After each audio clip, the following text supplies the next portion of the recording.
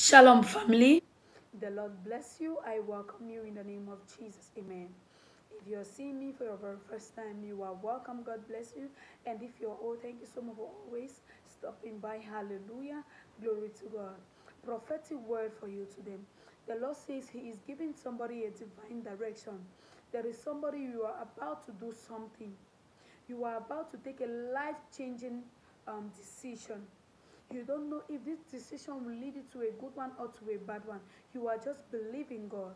God has seen you and He knows that you are about to take a decision.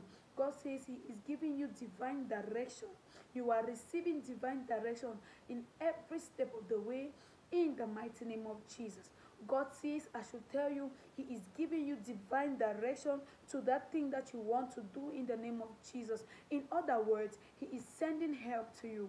In other words, he is sending help to you so that you do not miss you do not miss the lines. Hallelujah. God is giving you divine direction in the mighty name of Jesus. God is giving you divine direction in the mighty name of Jesus. Amen. Hallelujah. Glory to God. I hope you receive the word with gladness. I hope this word mature. I pray for you. You will be sensitive enough to receive your divine direction. It will not pass you by in the mighty name of Jesus. Amen. Hallelujah. Hallelujah. Let me pray for you. The culture of heaven is blessing. Now may the Lord keep you. May he cause his face to shine upon you. May he be gracious to you. And may he give you peace.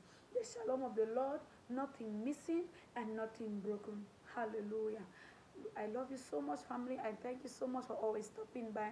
Thank you so much for believing in this amazing channel. My name is Sylvie Mbua.